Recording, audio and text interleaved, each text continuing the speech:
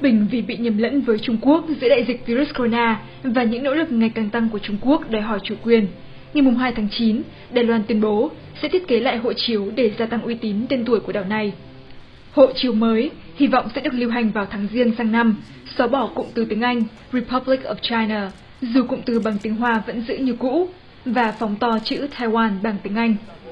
Công bố về kế hoạch thiết kế lại hộ chiếu, Bộ trưởng Ngoại giao Đài Loan Joseph Wu nói rằng hộ chiếu mới cần thiết để tránh cho người dân Đài Loan bị hiểu lầm là công dân Trung Quốc, đặc biệt giữa lúc các nước gia tăng kiểm tra nhập cảnh kể từ khi đại dịch xuất hiện.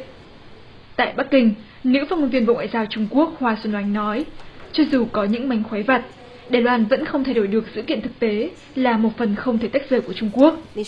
Trung Quốc xem Đài Loan dân chủ như lãnh thổ thuộc chủ quyền của họ và nói chỉ có Bắc Kinh là có quyền lên tiếng quốc tế cho Đài Loan, một lập trường mà Trung Quốc đẩy mạnh giữa đại dịch, đặc biệt là tại Tổ chức Y tế Thế giới.